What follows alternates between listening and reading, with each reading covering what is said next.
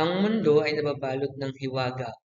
May mga bagay na minsan ay mahirap ipaliwanag. Halimbawa niyan ang inyong napanood na pelikula na pinamagatang Percy Jackson and the Lightning Thief. May mga bagay na sadyang kakaiba at hindi ka panipaniwala sa pelikulang inyong napanood. Ang pelikulang ito ay kinapapalooban din ng mga Diyos-Diyosan na may iba't ibang katangian at kapangyarihan Katulad ito ng kwentong ating tatalakayin na pinamagatang Osiris, ng isang mitolohiya na nagmula sa Ehipto na muling isinalaysay ni Eugene Y. Evasco. Si Eugene Y. Evasco ay manunulat, editor, tagasalin at kolektor ng mga aklat pambata. Kasalukuyan siyang professor ng panitikan at malikhaing pagsulat sa Departamento ng Filipino at Panitikan ng Pilipinas sa UP Kolehiyo ng Arte at Literatura. Narito ang mga salitang maaaring hindi nyo maintindihan kapag babasahin natin ang kwento. Una, ang kinin. Ang, ang kahulugan ng salitang ang kinin ay uning. Susunod ay ang salitang piging na nangangahulugang salo-salo. Sunod naman ay ang salitang baul na isang lalagyan. Susunod ay ang latian, magubat na anyong tubig. Sunod naman ay ang salitang momya na nangangahulugang bangkay na ibinalot sa tela.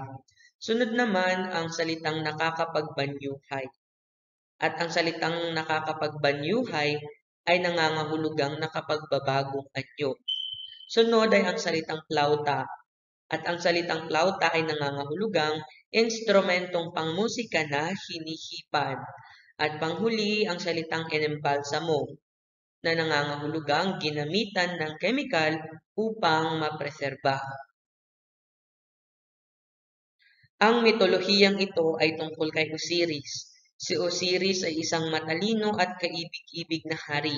Siya ang namuno sa Ehipsyo. Napamunuan niya ng maayos ang kanyang nasasakupan. Dahil dito, unti-unting namuo ang inggit sa kanyang kapatid na nagngangalang Seth. Gumawa si Seth ng isang napakagarang baul na kasukat ng kanyang kapatid na si Osiris. Nagkaroon ng isang piging at hinamon ni Seth na kung sino man ang kakasya sa baul, maiuwi niya ito. Agad namang sinukat ni Osiris ang kanyang katawan. Agad na isinara ni Seth ang baul Nakulong si Osiris sa baul at tinapon ito ni Seth sa dagat. Nagdalamhati si Isis na asawa ni Osiris sa ginawang kataksilan ni Seth. Hinanap ni Isis ang baul, nahanap niya ito sa Phoenicia at inuwi. Nakita ni Seth ang baul sa latian. Kinuha niya si Osiris at tinaddad sa labing apat na piraso Agad namang hinanap ni Isis ang mga piraso ng katawan ng kanyang asawa dahil mahihirapan itong tumawid sa kabilang buhay kapag hindi ito buo.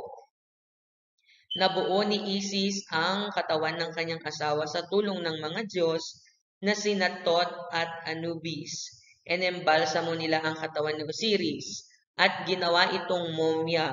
Nagbanyuhay si Isis bilang isang ibon at sa pagaspas ng kanyang pakpak, nabuhay muli si Osiris. Sa pagbangon ni Osiris, inangkin niya ang bago niyang trono at kaharian.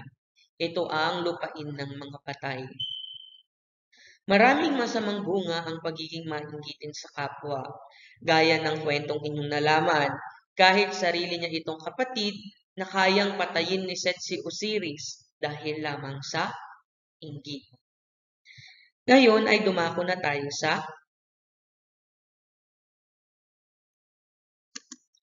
mito. Ano nga ba ang kahulugan ng mito? Ang salitang, ang salitang mito o myth ay galing sa salitang Latin na mythos at mula sa Greek na mutos na ang kahulugan ay kwento. Ayon kay Lorena Stucky ng 2004, may ilang pangunahing tema ang mitong pandaigdig. Una riyan ay ang kabilang buhay, ikalawa, mga hayop sa mitolohiya, at ikatlo ay ang apocalypse. Unahin natin ang kabilang buhay. Kabilang buhay, tinatalakay ng ganitong mito ang kapalaran ng tao matapos ang kamatayan. Karamihan sa mga kultura ay naniniwalang ang kabilang buhay ay isang magandang lugar. Ang iba naman ay ipinakikitang ang kabilang buhay ay isang madilim na lugar gaya sa mitolohiyang Grego na pinamumunuan ni Hades. Iba-iba man ang konsepto ng kinaroroonan ng daigdig ng mga patay, kadalasan namang nasa ilalim ng lupa o iyong tinatawag na underworld o netherworld. Mayroon din namang naniniwala na sa isang paraiso na pupunta ang mga taong namatay na mabubuti. May iba namang naniniwala na nasa ilalim o dulo ng tubig ang kinaroroonan ng daigdig ng mga patay. Sa ganitong paniniwala, pinababaunan nila ang yumao ng barya at minatamis na tinapay. Ipambabayad nila ang barya kay Sharon na isang taga-sagwan sa bangkang kanilang sa bangkang kanilang sinasakyan patungong daigdig ng mga patay at ipapakain nila ang minatamis na tinapay kay Cerberus na isang mapangis na asong may tatlong ulo na siyang tagapagbantay ng daigdig ng mga yumao. Sunod naman ay ang mga hayop sa mitolohiya. Sa ilang mito, gumaganap ang mga hayop bilang tagalikha o mga Diyos. Sa ibang mito naman, ang mga hayop ay gumaganap bilang bayani o isang tusong kalaban. Gumaganap din ang mga hayop bilang katuwang o kakampi ng tao. Mayroon din tayong tinatawag na metamorphosis o ang kakayahang magpalit ng anyo. Ito ang pamamaraan na kanilang ginagamit upang makapagpalit ng papel ang mga tao at mga hayop. Sa ilang mito rin ipinapakita ang ugnayang espiritual ng mga tao at hayop. Ipinakikitang nagmula ang isang lipi sa isang hayop at nagtataglay ng kapangyarihan o kakayahan ng isang hayop. Maaaring magkaroon ng kalahating hayop at tao gaya ng centaur na kalahating tao at kalahating kabayo o si Medusa na isang taong may ahas na buhok. Maaari ding maging isang mapalasik o mabangis na kaaway tulad ng Hydra, isang ahas na may siyam na ulo at, at dumodoble sa tuwing pinuputol ito o isang ibon na Stymphalian na kumakain ng tao. Ang mga hayop ay maaari ding maging banal na simbolo gaya ng pagiging sagrado ng baka para kay Hera at ng kabayo para kay Poseidon. Sunod naman ay ang Apocalypse. Tumutugon ang mitong ito sa eskatolohiya o ang pag-aaral ng mga wakas. Ang mga mitong pumapaksa sa Apocalypse ay nagbibigay ng propesiya kung paano nagwawakas ang mundo. Inilalarawan ng pagkawasak ng mundo bilang kagimbal-gimbal o katakot-takot. Ayon din sa ilan, ang dahilan ng apocalypse ay upang linisin ang daigdig at gawin itong mas magandang mundo.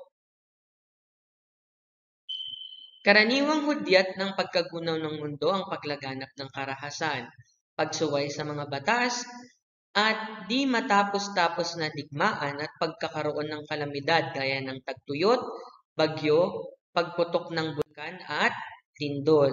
Sa ibang mito, hudyat din ng pagwakas ng panahon ang pagdidilim ng araw at buwan at ang pagbagsak ng mga bituin. Maaari ding nagsusulputan ng mga halimaw at demonyo, kabilang din ang mga huling laban ng mabubuti at masasama. Ang mito ay kinapapalooban ng mga pangyayaring hindi kapanipaniwala at kamangha-mangha. Ngunit kahit ganito ang mito, may mga tao pa rin naniniwala.